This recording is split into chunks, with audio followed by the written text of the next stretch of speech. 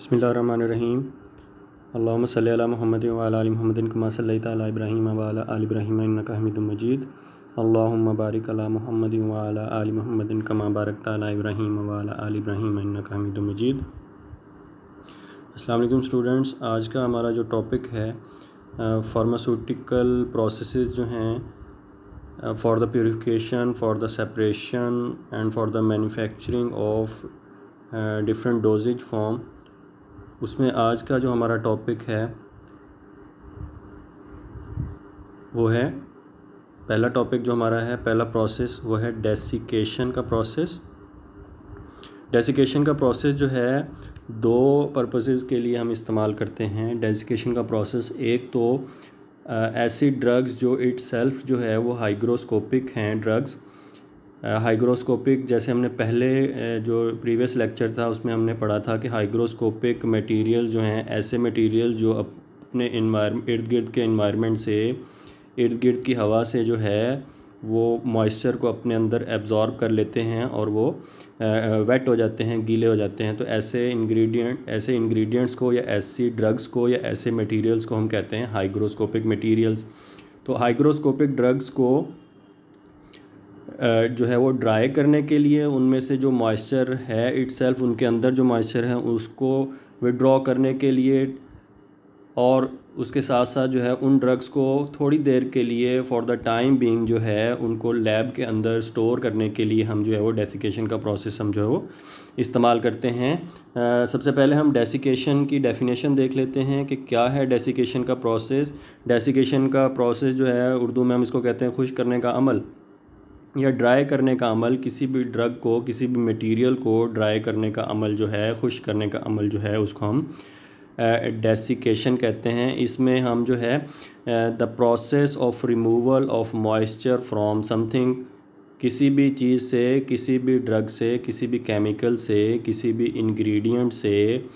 जो है मॉइस्चर को निकालने का रिमूव करने के अमल को हम कहते हैं। It is a desiccation process it is the, it is drying procedure which is widely used in the pharmacy to remove water or moisture from the product. किसी भी प्रोडक्ट से, किसी भी मटेरियल से मॉइस्चर को वाटर को remove करने के अमल को हम कहते हैं। It is a desiccation process तो डेसिकेटर जैसे आपको राइट साइड पे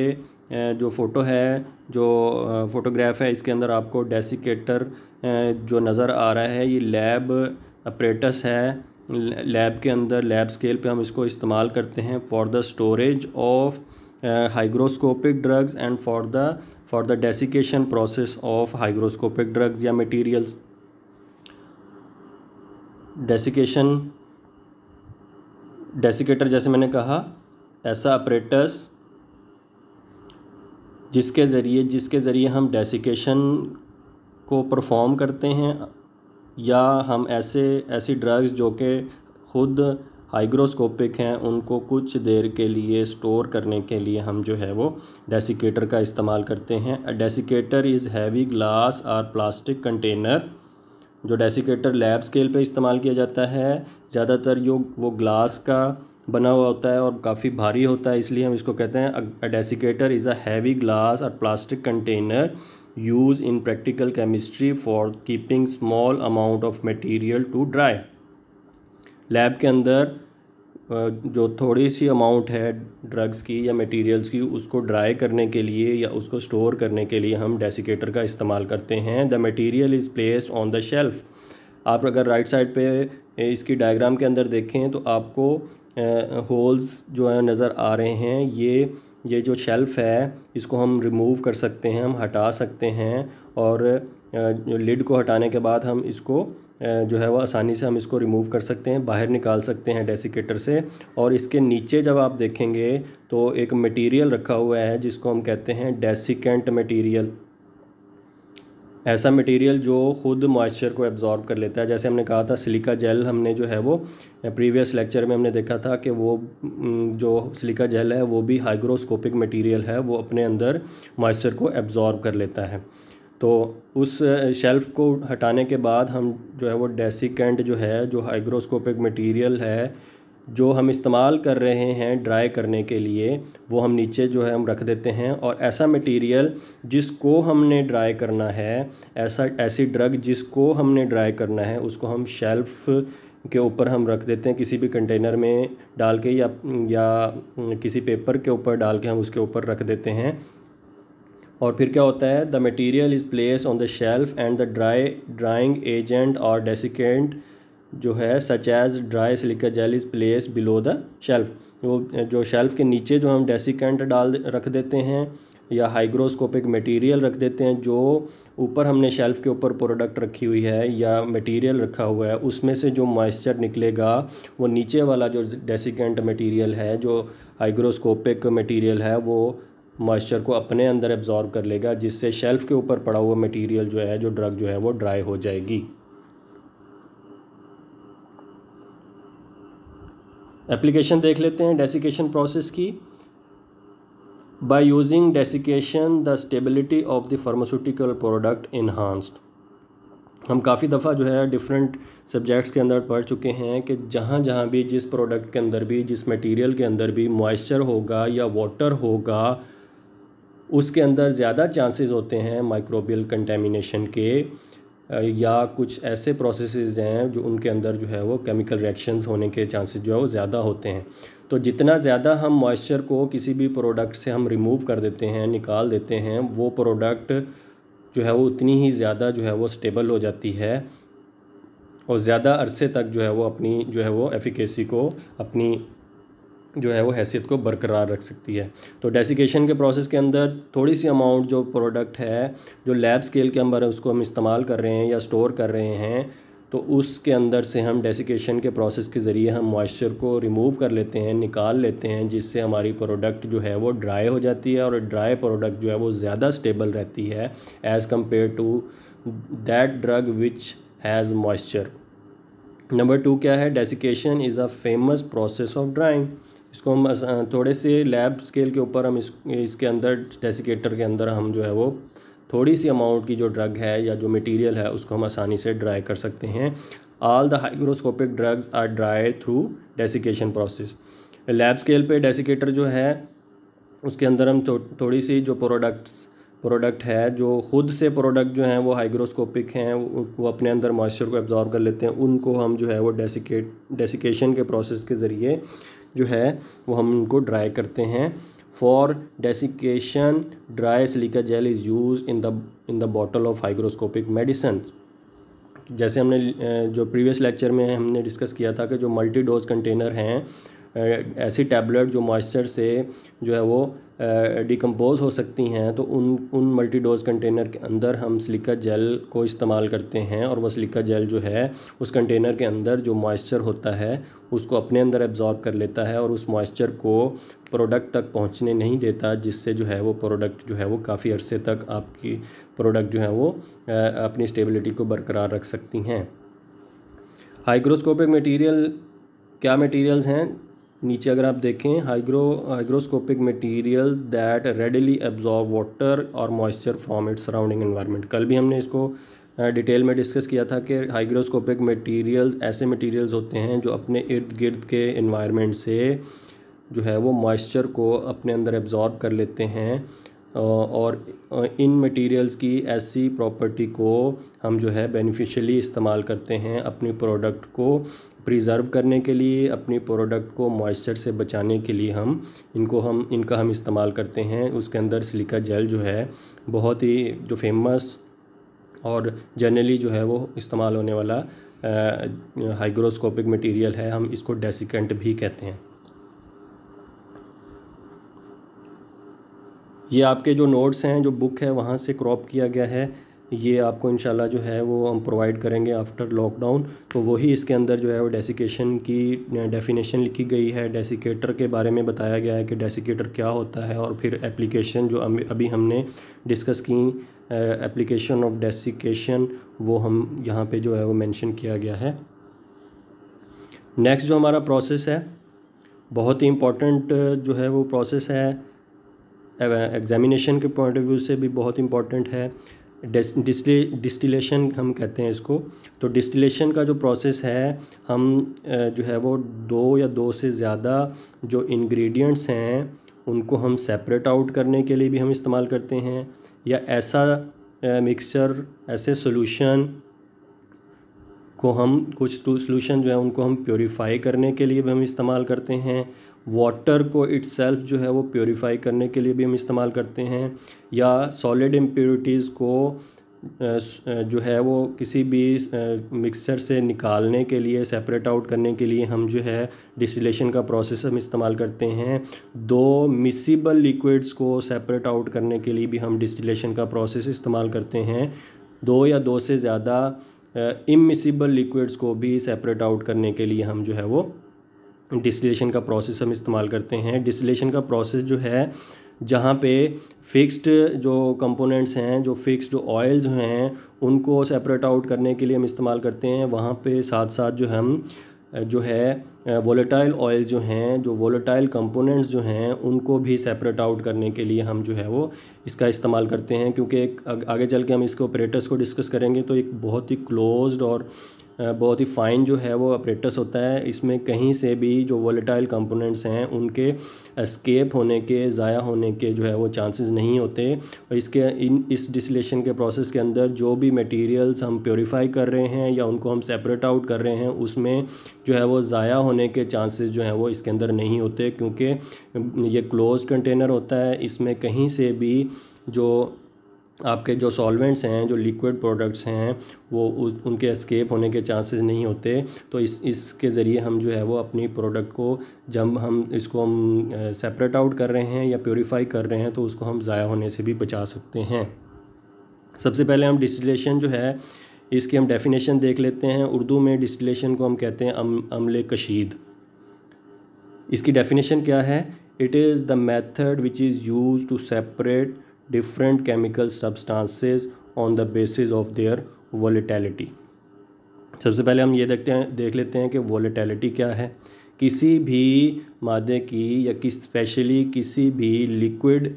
इंग्रेडिएंट की आम दर्जा हरारत पे बुखारात बनने के अमल को हम कहते हैं वॉलेटिलिटी जब हम किसी भी लिक्विड को, आप जानते हैं, जब हम उसको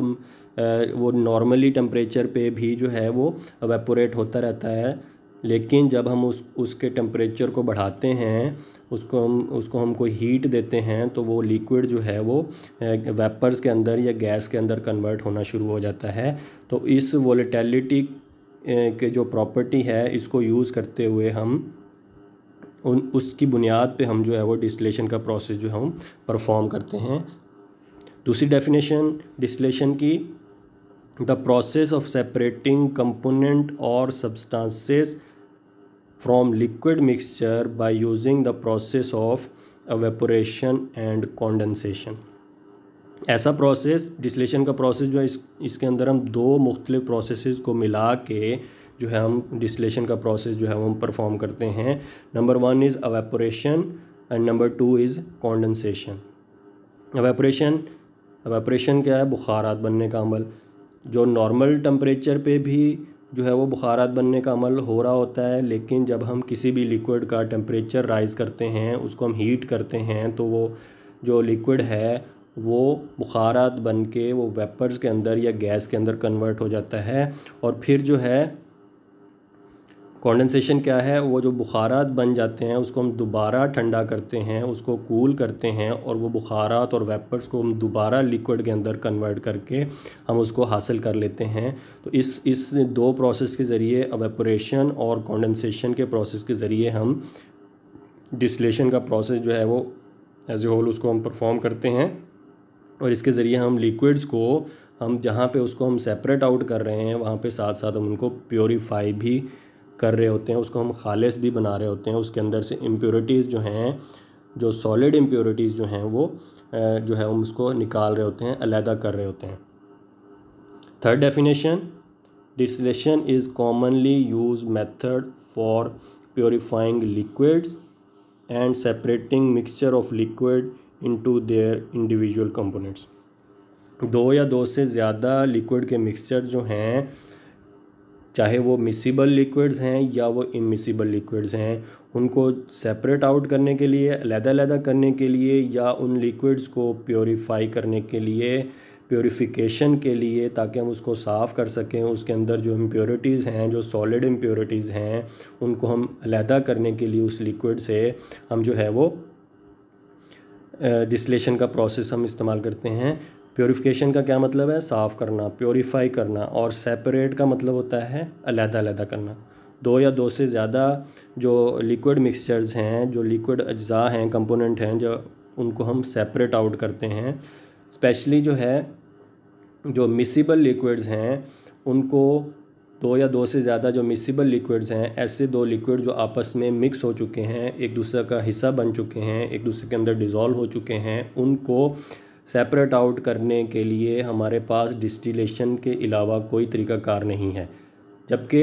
इमिसिबल लिक्विड्स को सेपरेट आउट करने के लिए दो ऐसे लिक्विड जो आपस में मिक्स नहीं हो सकते, जैसे ऑयल और वाटर जो है, जो आपस में मिक्स नहीं हो सकते, उनको सेपरेट आउट करने के लिए हम जो है वो डिकेंटेशन का प्रोसेस भी, जैसे हमने जो प्रीवियस लेक्चर के अंदर डिस्कस किया था कि डिकेंटेशन का प्रोसेस भी हम परफॉर्म कर सकते हैं। लेकिन इमिसिबल लिक्विड्स वोलेटाइल ऑयल जब वाटर के अंदर मिक्स हों तो उनको सेपरेट आउट करने के लिए फिर हम जो है वो डिस्टिलेशन का प्रोसेस हम इस्तेमाल करते हैं ताकि हमारे वो वोलेटाइल ऑयल जो हैं, वो वोलेटाइल कंपोनेंट्स जो हैं, वो, जो ज़ाया ना हो सकें, वो वेपोरेट होके जो है वो हमें हासिल नहीं होते अगर हम उसको डिस्टिलेशन के प्रोसेस के ज़रिए हम परफॉर्म सेपरेट आउट नहीं करते। डिस्टिलेशन का ऑपरेटर्स हम थोड़ा सा हम डिस्कस कर लेते हैं कि डिस्टिलेशन का ऑपरेटर्स जो है, जो सिंपल डिस्टिलेशन जो है, वो लेबॉर्ट्री स्केल पे जो हम डिस्टिलेशन का प्रोसेस परफॉर्म करते हैं। डिस्टिलेशन जैसे हमने कहा कि डिस्टिलेशन जो है, प्योरीफिकेशन का मेथड भी है। जो लिक्विड हैं, जो लिक्विड मिक्सचर है, उसको प्योरीफाई करने के लिए, उसको साफ़ करने के लिए, उसको, उसके अंदर से इम्प्योरिटीज़ को निकालने के लिए भी हम जो है, वो डिस्टिलेशन का प्रोसेस परफॉर्म कर रहे हैं। और साथ साथ हम जो है वो दो या दो से ज़्यादा जो लिक्विड मिक्सचर्स हैं, जो लिक्विड अज्जा हैं, जो कंपोनेंट्स हैं, उनको भी हम सेपरेट आउट करने के लिए हम जो है ये इस्तेमाल करते हैं डिस्टिलेशन का प्रोसेस तो डिस्टिलेशन का ऑपरेटर्स जो है, उसके हम कंपोनेंट्स जो हैं, उसके जो पार्ट्स हैं, उनको हम देख लेते हैं कि वो कौन कौन से होते हैं और इसके अंदर कैसे जो है वेपोरेशन और कॉन्डेंसेशन का प्रोसेस दोनों को मिला के हम जो है वो डिस्टिलेशन परफॉर्म करते हैं। तो डिस्लेशन का एक जो है वो ऑपरेटर्स आपको नज़र आ रहा है। इसमें जो है वो मुख्तलिफ़ जो है वो आपको इसके पार्ट्स नज़र आ रहे हैं। अगर हम लेफ़्ट से देखें तो सबसे नीचे जो बर्नर है, क्योंकि जो जो लिक्विड है, उसको वेपोरेट करवाने के लिए उस उसके टेम्परेचर को हमें जो है वो राइज़ करना पड़ता है। तो ज़्यादातर जो है, ऐसे ऐसे ऐसे लिक्विड मिक्सचर जो हीट स्टेबल हैं, उनको हम डायरेक्टली हीट करते हैं with the help of burner number two आपको एक फ्लास्क नज़र आ रही है, राउंड बॉटम फ्लास्क है ऐसे लिक्विड मिक्सचर जिनको हमने प्योरीफाई करना है या उनको हमने उसके मुख्तलिफ़ कंपोनेंट्स को हमने सेपरेट आउट करना है, उसको हम इस राउंड बॉटम फ्लास्क के अंदर जो है वो हम उसको डालते हैं, रखते हैं, जो कि राउंड बॉटम फ्लास्क जो है उसकी आप टॉप पे देखेंगे तो वो विद कॉर्क या विद लिड जो है उसको हम बंद करते हैं, जो कि राइट साइड पे जो है एक कंडेंसर के साथ जुड़ा हुआ है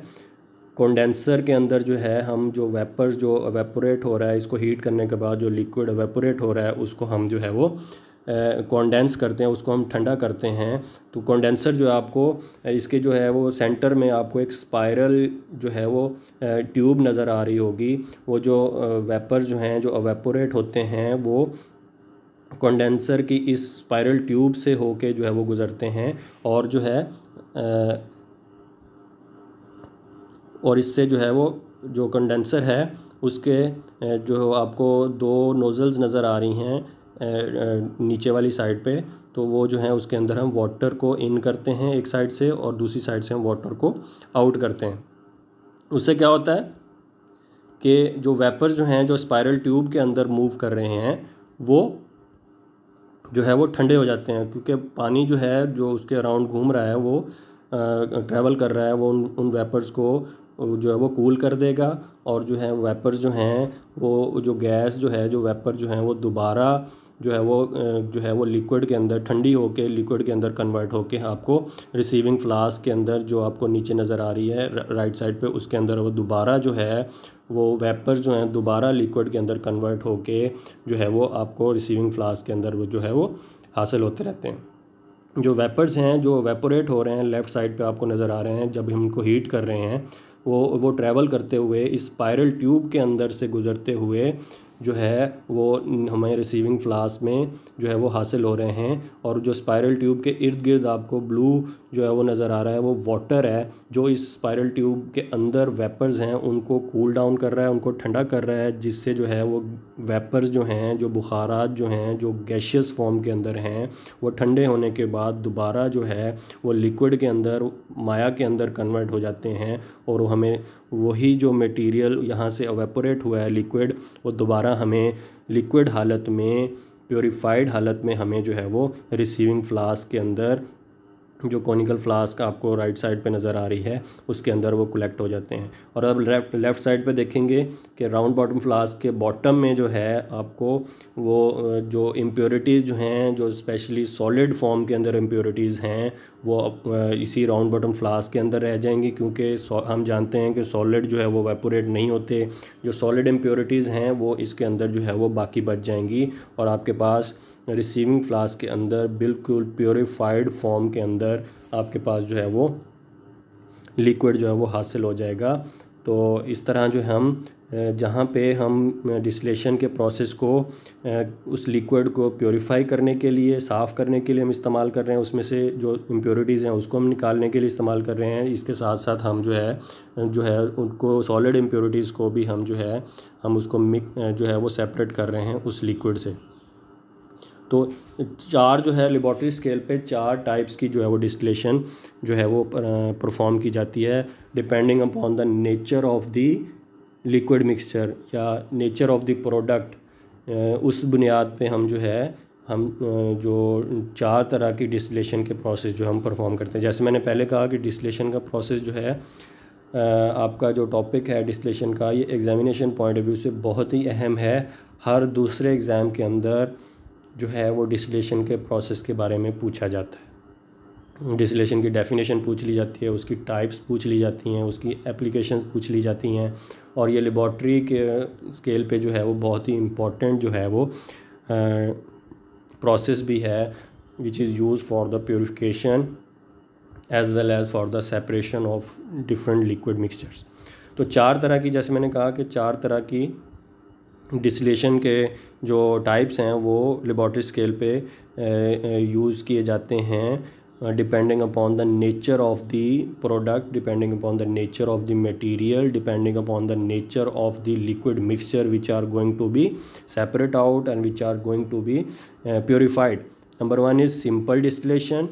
number two is fractional distillation number three is steam distillation number four is vacuum या वैक्यूम या वैक्यूम डिस्टिलेशन भी हम इसको कहते हैं। इनको हम वन बाय वन देख लेते हैं कि ये ये मुख्तलिफ़ जो हैं, वो टाइप्स जो हैं, वो हम आज डिस्कस कर लेते हैं कि इनमें डिफरेंस क्या है। जैसे मैंने कहा कि ये चारों जो है, वो टाइप्स जो हैं, वो किस चीज़ पे डिपेंड कर रही हैं? ये nature of the material nature of the product nature of the liquid mixture जो है, उसके ऊपर डिपेंड करें कि हम कौन सा प्रोसेस जो है, हम अपनाएँगे डिस्टिलेशन का। पहला पहली जो टाइप है जैसे इसके नाम से ज़ाहिर है it is a simple distillation इसका जो ऑपरेटस है, इससे पहले हमने प्रीवियस स्लाइड के अंदर भी हमने डिस्कस किया था कि इसमें इसके अंदर जो है वो राउंड बॉटम फ्लास्क होगी, जिसके अंदर हम मिक्सचर को रखेंगे, जिसको हमने प्योरीफाई करना है या सेपरेट आउट करना है, और वो राउंड बॉटम फ्लास्क जो है वो अटैच होगी विद द कॉन्डेंसर जो उन वेपर्स को, जो वेपोरेट हो रहे हैं, हीट करने के बाद वेपोरेट हो रहे हैं, उनको वो ठंडा करेगी वेपर्स को और दोबारा लिक्विड के अंदर कन्वर्ट करेगी। तो ये एक सिंपल जब, सिंपल सा प्रोसेस, सिंपल डिस्लेशन का प्रोसेस है, जो कि ऐसे लिक्विड मिक्सचर को सेपरेट आउट करने के लिए या प्योरीफाई करने के लिए हम इस्तेमाल करते हैं, जो हीट हीट जो है वो, हीट स्टेबल होते हैं, जो हीट करने से जो है वो डिस्ट्रॉय नहीं होते। Simple distillation is a process use to eliminate solid impurities from the liquid. Purify करने के लिए हम इस्तेमाल कर रहे हैं। जब हम लिक्विड को हीट कर रहे हैं तो वेपर्स के अंदर कन्वर्ट हो रहा है। वेपर्स जो है वो वेपोरेट होके कंडेंसर के ज़रिए जो है वो गुज़रते हैं और कंडेंसर में जो है वो इनलेट वाटर हो रहा है और आउट हो रहा है और वो कंटिन्यूसली जो है उस जो स्पायरल ट्यूब है उसको ठंडा कर रहा है और वेपर्स भी उसी तरह से जो है ठंडे होने के बाद, कूल होने के बाद दोबारा लिक्विड के अंदर कन्वर्ट होकर हमें रिसीविंग फ्लास्क के अंदर हासिल हो जाते हैं। Simple distillation is the process use to purify liquid by bringing them to their boiling point and then collecting and condensing back to to their vapour their vapour into liquid इसमें क्या है? हम सबसे पहले, हम जो लिक्विड है, उसको हम उसके बॉइलिंग पॉइंट तक लेके जाते हैं। बॉइलिंग पॉइंट ऐसा ऐसा पॉइंट ऐसा टेम्परेचर जहाँ पे लिक्विड जो है वो वेपर्स के अंदर कन्वर्ट होना शुरू हो जाता है तो ऐसे टेम्परेचर को, ऐसे ऐसे टेम्परेचर को हम कहते हैं it is a boiling point जैसे वाटर हम जानते हैं कि उसका बॉइलिंग पॉइंट जो है वो हंड्रेड डिग्री सेंटीग्रेड है. तो हंड्रेड डिग्री सेंटीग्रेड पे जाके जो वाटर है, वो लिक्विड जो है वो वेपर्स बुखारात का बनना शुरू हो जाता है और वो जो हैं, फिर हम उनको ठंडा करते हैं with the help of condenser और फिर उसको दोबारा हम लिक्विड के अंदर कन्वर्ट कर रहे हैं। तो आप इसमें देखेंगे कि बहुत ही क्लोज कंटेनर है। जो वेपर्स निकल रहे हैं, उनको कहीं से एस्केप होने का जो है वो मौका नहीं मिल रहा और वो कंडेंसर से होते हुए ठंडे होके, दोबारा लिक्विड के अंदर कन्वर्ट होके, जो दोबारा वो हम उसको रिसीविंग फ्लास्क के अंदर हम हासिल कर लेते हैं। जो वोलेटाइल कंपोनेंट्स हैं, वो भी यहाँ से एवेपोरेट नहीं हो सकते और कंडेंसर और जो कोनिकल फ्लास्क है, उसको भी हम किसी बैंड के ज़रिए जो उसको हम अटैच करते हैं, वहाँ से भी वो स्केप होने के चांसेस नहीं होते। ये तो होगी सिंपल डिस्टिलेशन नंबर टू जो टाइप हमने देखी है, वो है फ्रैक्शनल डिस्टिलेशन फ्रैक्शन का मतलब होता है हिस्सा पार्ट पोर्शन या जुज भी हम उसको कहते हैं, ठीक है? फ्रैक्शनल डिस्टिलेशन जो है, ऐसे दो या दो से ज़्यादा मिसिबल लिक्विड के मिक्सचर को सेपरेट आउट करने के लिए हम जिन, जिसके अंदर मुख्तलिफ़ जो है वो लिक्विड जो है वो मिक्स हुए पड़े हैं जो डिज़ोल्व हुए पड़े हैं एक दूसरे के अंदर तो हम उन उन लिक्विड्स के बॉइलिंग पॉइंट को डिफरेंट क्योंकि डिफरेंट लिक्विड जो हैं जो है उनका अपना जो है वो डिफरेंट बॉइलिंग पॉइंट होता है। तो लेट से हम ऐस, एक ऐसा मिक्सचर जिसके अंदर अल्कोहल और वाटर का मिक्सचर है तो उसको हम विद डिस्टिलेशन के अलावा हम किसी भी दूसरे तरीक़ाकार से हम उनको सेपरेट आउट नहीं कर सकते। तो जो अल्कोहल है लाइक एथनॉल है, उसका बॉइलिंग पॉइंट जो है वो डिफरेंट है और जो वाटर है, उसका बॉइलिंग पॉइंट जो डिफरेंट है। एथनॉल जो है ऑलमोस्ट उसका जो बॉइलिंग पॉइंट है that is seven seventy six degree centigrade और वाटर जो है, हमें पता है कि उसका जो है वो बॉइलिंग पॉइंट जो है वो हंड्रेड डिग्री सेंटीग्रेड है। तो एथनॉल अल्कोहल और वाटर का जो मिक्सचर है, उसको हम फिर फ्रैक्शनल डिस्टिलेशन के ज़रिए हम उसको सेपरेट आउट करते हैं। हम जो है वो लिक्विड मिक्सचर जिसके अंदर एथनॉल और वाटर है, उसको हम हीट करेंगे। सबसे पहले seventy degree centi seventy six degree centigrade पे जैसे ही वो टेम्परेचर पहुंचेगा तो एथेनॉल एवापोरेट होना शुरू हो जाएगा और उसके वेपर जो है वो कंडेंसर से गुजरते हुए वो एथेनॉल दोबारा लिक्विड के अंदर कन्वर्ट होगा उसको हम रिसीविंग फ्लास्क के अंदर हासिल कर लेंगे। जहाँ पर ड्रॉपिंग कंप्लीट हो जाएगी इट मीन्स के सारे का सारा आपका एथेनॉल जो है वो सेपरेट आउट होके कॉन्डेंस होके आपने फ्लास्क के अंदर हासिल कर लिया, फिर रिसीविंग फ्लास्क चेंज कर देते हैं और जैसे ही वो लिक्विड का टेम्परेचर जो है, जो हीट हो रहा है, उसका टेम्परेचर हंड्रेड तक पहुँचता है तो इट मीन्स के वाटर एवेपोरेट होना शुरू हो जाता है और फिर दोबारा आपको रिसीविंग फ्लास्क के अंदर जो है वो लिक्विड हासिल होना शुरू हो जाता है, जो कि एक्चुअली वाटर होगा। तो फ्रैक्शनल डिस्टिलेशन फ्रैक्शन जैसे मैंने कहा, इसका इसका मतलब होता है हिस्सा, जुज़ Fractional distillation is the process by which component in a liquid mixture are separated according to their different boiling points. Different boiling point के अगर लिक्विड मिक्सचर है तो उसको अलहदा करने के लिए सेपरेट आउट करने के लिए हम जो है वो फ्रैक्शनल डिस्टिलेशन का प्रोसेस जो हम इस्तेमाल करते हैं in fractional distillation the compound is heated and as each of its constituent component come to a boil it its vapor are separated and cooled so it can be removed in its pure form. तो अगर दो liquid mixture हैं या दो से ज़्यादा हैं उसके अंदर अज्जा तो उनको भी हम डिफरेंट बॉइलिंग पॉइंट के हर लिक्विड को उसके बॉइलिंग पॉइंट पे ले जा के हम जो है उसको वेपर्स के अंदर कन्वर्ट करते हैं और फिर जो है आ, हम जो है उसको दोबारा जो है वो कंडेंस करके उसको हम हासिल कर लेते हैं, जो कि बिल्कुल प्योर फॉर्म में भी होगा और वो सेपरेट सेपरेट भी हो चुका होगा। जैसे हमने कहा कि एथेनॉल और वाटर का जो मिक्सचर है, उसको हम जब अलहदा करते हैं तो हीट करने से 76 डिग्री सेंटीग्रेड पे एथेनॉल जो है वो एवेपोरेट होना शुरू हो जाएगा वेपर्स के अंदर कन्वर्ट होना शुरू हो जाएगा वो दोबारा जो हम उसको कंडेंसर के अंदर ठंडा करने, करके हम उसको रिसीविंग फ्लास्क के अंदर हम उसको हासिल कर लेते हैं और इसी तरह वाटर को भी हम जो है मज़ीद हीट करने, करके हंड्रेड डिग्री सेंटीग्रेड तक ले जाके हम उसको दोबारा कंडेंस करके हम दोबारा हासिल कर लेते हैं। फ्रैक्शनल डिसलेशन का कैसे जो है वो ऑपरेटर जो है वो ऑपरेट करेगा तो more or less simple distillation से मिलता जुलता ही ऑपरेटर्स होता है इसका। पहले स्टेप में हम वो लिक्विड मिक्सचर जिसके अंदर दो या दो से ज़्यादा अज्जा हैं लिक्विड अज्जा हैं उनको हम, उसको हम क्या करते हैं? हम हीट करते हैं। पहला स्टेप क्या होगा? हीटिंग का स्टेप उसमें क्या करेंगे हम? लिक्विड मिक्सचर जो है, उसको हम हीट करेंगे। दूसरे स्टेप में क्या होगा? जैसे हम उसको हीट करेंगे टेम्परेचर उसका राइज़ होगा। एथेनॉल जैसे हमने कहा कि सेवेंटी मोर और लेस सेवेंटी सिक्स या सेवेंटी एट डिग्री सेंटीग्रेड उसका जो है, वो बॉइलिंग पॉइंट है, वो सेवेंटी सिक्स या सेवेंटी एट पर जाके जो है, वो वेपोरेट होगा। और वेपर्स के अंदर कन कन्वर्ट होगा और वो कंडेंसर से जब गुज़रेगा तो उसके वेपर्स जो हैं वो दोबारा जो है ठंडे होने के बाद वो लिक्विड के अंदर कन्वर्ट हो जाएँगे और उसको हम जो है वो रिसीविंग फ्लास्क या रिसीविंग बीकर के हम अंदर उसको हम हासिल कर लेते हैं।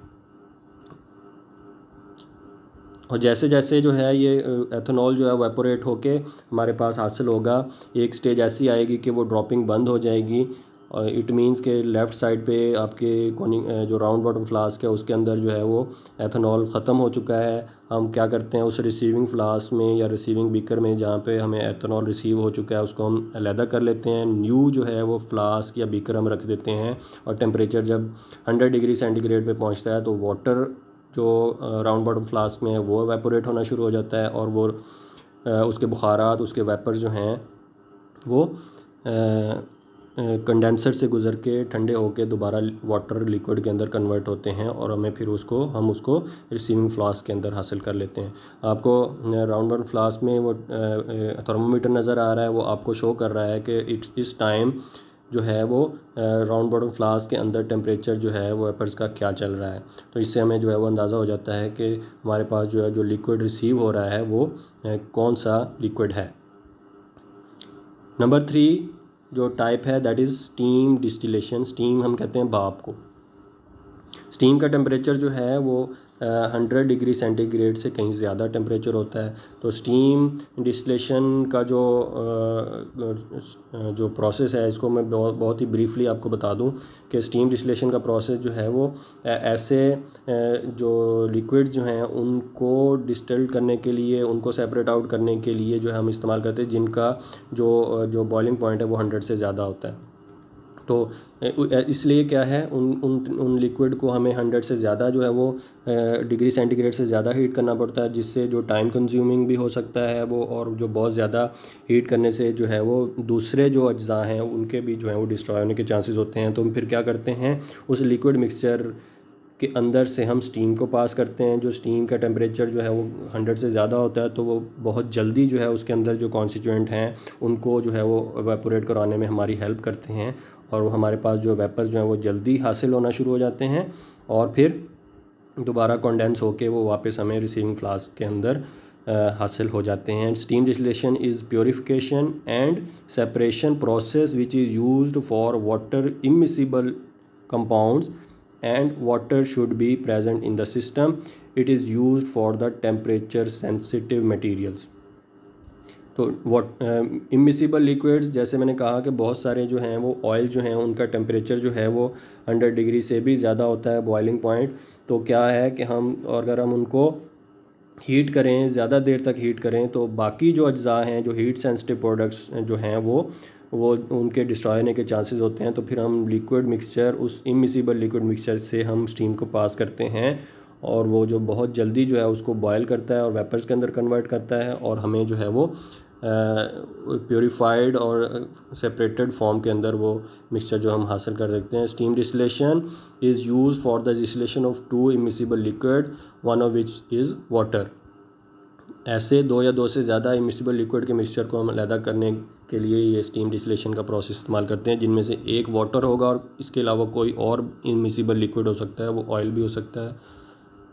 An immiscible liquid and water independently boil at high temperature but when steam is pass through a mixture of these liquid they boil at very much low temperature than the boiling point of pure water जैसे मैंने कहा कि दो immiscible liquids हैं water जो है वो hundred degree centigrade पे एवेपोरेट हो रहा है,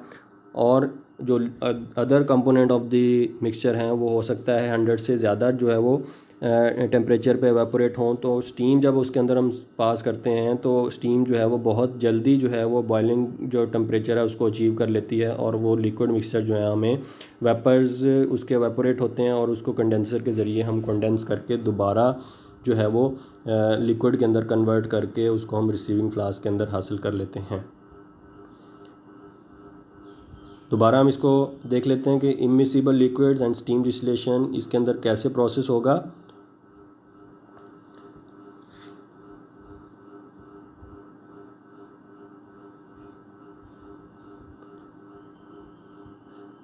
चौथी टाइप जो है, उसको हम बाद में डिस्कस करेंगे। इससे पहले हम देख लेते हैं कि स्टीम डिस्लेशन में क्या हो रहा है। स्टीम डिस्लेशन में अगर देखें कि लेफ़्ट साइड पे एक स्टीम जनरेटर है, जो स्टीम प्रोड्यूस कर रहा है और वो एक ट्यूब के ज़रिए हमारे मिक्सचर जो है, जो, जिसके अंदर दो या दो से ज़्यादा इमिसिबल लिक्विड्स हैं, आपको राउंड बॉटम फ्लास्क नज़र आ रही है, उसमें ग्रीन से शो किया जा रहा है, उस, वो दो इमिसिबल या दो से ज़्यादा इमिसिबल लिक्विड का मिक्सचर वो ट्यूब जो है, जो स्टीम जनरेटर के ज़रिए जो है, वो स्टीम इस मिक्सचर के अंदर आ रही है और उसको वो हॉट कर रही है, उसको गर्म कर रही है और बहुत जल्दी जो है उसको वेपर्स के अंदर कन्वर्ट करके वो वेपर जो हैं फिर कंडेंसर से होते हुए ठंडे होके हमें रिसीविंग फ्लास्क के अंदर हासिल हो जाते हैं। चौथी जो टाइप है दैट इज़ वैक्यूम डिस्टिलेशन या वैक्यूम डिस्टिलेशन वैक्यूम डिस्टिलेशन का जो प्रोसेस है, वो बहुत ही सेंसिटिव मटेरियल्स के लिए हम इस्तेमाल करते हैं। आ, लेकिन सेंसिटिव मटेरियल ऐसे जिनका टेम्परेचर जो बहुत ज़्यादा हाई होता है बॉइलिंग टेम्परेचर जो बहुत ज़्यादा हाई होता है तो vacuum distillation is use for the compound that have high boiling point उनका बॉइलिंग पॉइंट जो बहुत ज़्यादा होता है तो उसको अचीव करने के लिए हमें जो है वो बहुत ज़्यादा जो है वो हीट भी करना पड़ रहा होता है। और हमें वो जो टाइम कंज्यूमिंग भी होता है वो एनर्जी भी उसके अंदर बहुत ज़्यादा कंज्यूम हो रही होती है तो उसमें हम क्या करते हैं कि हम उस लिक्विड मिक्सचर के ऊपर जो स्पेस है, उसके अंदर से हम जो जो वेपर प्रेशर है, उसको हम रिड्यूस कर देते हैं। क्योंकि हम जानते हैं कि हम पहले पढ़ चुके हैं कि बॉइलिंग जो जो पॉइंट है, वो उस टाइम ही अचीव होता है जब जो जो वेपर प्रेशर है, वह, वो इक्वल हो जाता है विद द एटमॉस्फेरिक प्रेशर तो जितना हम एटमॉस्फेरिक प्रेशर को हम रिड्यूस करेंगे, उतना ही जल्दी जो आपका जो है, वो बॉइलिंग पॉइंट जो है, वो बॉइलिंग टेम्परेचर जो है, वो अचीव हो जाता है. द वैक्यूम इज़ प्रोवाइडेड इधर by water aspirator water aspirator क्या है? A device for removing liquid और गैसेज बाय सक्शन या हम इसको by mechanical pump mechanical pump के ज़रिए या वाटर एस्पायरेटर के ज़रिए हम जो लिक्विड मिक्सचर है, उसके ऊपर जो कोनिकल फ्लास्क के अंदर जो इन्वायरमेंट है, उसमें से हम वेपर्स को जो वेपर प्रेशर जो पहले से वेपर्स हैं, जो हवा के अंदर वेपर्स हैं, नमी है, उसको हम अलहदा कर लेते हैं, जिससे बहुत जल्दी जो है वो आपका जो बॉइलिंग पॉइंट है, वो अचीव हो जाता है। इससे आगे हम देख लेते हैं कि वैक्यूम डिस्टिलेशन क्या है। Vacuum distillation work on the principle that a liquid boil when its vapour pressure is equal to the atmospheric pressure और एक्सटर्नल प्रेशर जब भी कोई भी लिक्विड अवेपोरेट हो रहा होता है तो अवेपोरेशन वो बॉयलिंग पॉइंट कब अचीव होता है? जब वेपर जो प्रोड्यूस हो रहे हैं, उनका प्रेशर और जो फिज़ा के अंदर जो प्रेशर है, उस लिक्विड जो मिक्सचर है, उसके ऊपर जो वेपर्स हैं, उसका प्रेशर जो है वो इक्वल हो जाता है, फिर जाके जो है वो लिक्विड जो है वो वेपर्स के अंदर कन्वर्ट हो जाता है। तो जितना कम हम जो है वो एटमॉस्फेरिक प्रेशर रखेंगे, उतना ही जल्दी जो है वो वेपर प्रेशर हमें जो है वो अचीव हो जाएगा और बहुत जल्दी लिक्विड जो है वो वेपोरेट होना शुरू हो जाएगा। उसका हम बॉइलिंग पॉइंट जल्दी अचीव कर लेते हैं। From this it is clear that the liquid which are which are decompose at their high boiling point under atmospheric pressure can be distilled at very much low temperature. Then its boiling point जो boiling point है, जो उसको हम बड़े कम temperature पे उसको हम achieve कर लेते हैं, क्योंकि हम उसका एटमॉस्फेरिक प्रेशर जो हम उसको रिड्यूस कर रहे हैं, कम कर रहे हैं, और वो बॉइलिंग टेम्परेचर जो है, वो बॉइलिंग पॉइंट जो है, वो कम टेम्परेचर पे हम उसको अचीव कर लेते हैं। कम टेम्परेचर पे उसके वेपर्स जो हैं, वो वो लिक्विड जो है, वो वेपर्स के अंदर कन्वर्ट होना शुरू हो जाता है, और उसको हम बहुत जल्दी जो है वेपर्स के अंदर कन्वर्ट कर लेते हैं, और फिर फर्दर उसको हम कंडेंसर के ज़रिए कंडेंस करके अपने पास हम हासिल कर लेते हैं। इससे हम क्या कर लेते हैं? जो लिक्विड के कंपोनेंट्स हैं, उसको एक तो हम डिकम्पोज होने से बचा रहे हैं। नंबर टू जो जो बहुत ज़्यादा हमें उनको हीट करने के लिए, उनके बॉयलिंग हाई बॉयलिंग पॉइंट को अचीव करने के लिए जो उनको हीट करना पड़ रहा था, उस एनर्जी को हम बचा रहे हैं। उसके साथ साथ हम जो टाइम लग रहा था, उस टेम्परेचर को अचीव करने के लिए उसको हम सेव कर रहे हैं। तो वैक्यूम डिस्टिलेशन जो है Uh, for, for this, it is clear that the liquid which are decomposed at their boiling point under atmospheric pressure can be distilled at very much low temperature that its boiling point if the if the pressure is reduced on the surface of the liquid जब liquid की surface के ऊपर जो pressure है उसको हम reduce कर देते हैं atmospheric pressure जिसको हम कह रहे हैं उसको हम reduce कर देते हैं तो बहुत ही जल्दी जो है वो boiling जो point है वो achieve हो जाता है और बहुत ही कम टेम्परेचर पे वो लिक्विड जो है, वो वेपर्स के अंदर कन्वर्ट होना शुरू हो जाता है। और इस इस ज़रिए, इसके ज़रिए हम जो टेम्परेचर सेंसिटिव लेकिन ऐसी लिक्विड जिनका बॉइलिंग पॉइंट ज़्यादा हाई होता है, उसको हम वैक्यूम डिस्टिलेशन के ज़रिए हम सेपरेट आउट भी करते हैं और उसको हम प्योरीफाई भी करते हैं। जो नेक्स्ट इन अगले टॉपिक्स के अंदर हम, अगले जो प्रोसेसेस हैं हमारे, उसको हम डिस्कस करेंगे। तो होपफुली आपको जो है वो डिसलेशन का वो जो प्रोसेस है, जो बहुत ही इम्पोर्टेंट जो प्रोसेस है एग्ज़ामिनेशन के पॉइंट ऑफ़ व्यू से उसको, उसकी आपको जो है वो समझ आ गई होगी। इसके अंदर अब जो ज़्यादा हम ज़ोर देंगे जो फर्दर जाके आपको इंडस्ट्री के अंदर भी और लैब के अंदर भी आपको वर्क करना पड़ता है। वो स्पेशली स्टीम जो आपका सिंपल डिसलेशन है और फ्रैक्शनल डिसलेशन है, इस, इसका जो है वो आपको बार बार जो है वो सामना करना पड़ता है। वैक्यूम डिस्टिलेशन जो है, वो बहुत ही कम जो है वो आपको उसका जो है वो, उससे इनकाउंटर होता है, उसका सामना करना पड़ता है या वो आपके सामने आता है। तो इन अगले जो लेक्चर्स हैं, उसके अंदर हम नेक्स्ट जो हमारे टॉपिक्स हैं, जो नेक्स्ट हमारे जो प्रोसेस हैं, उनको हम डिस्कस करेंगे। थैंक यू बहुत शुक्रिया। अल्लाह आपका हामी नसर हो। अस्सलाम वालेकुम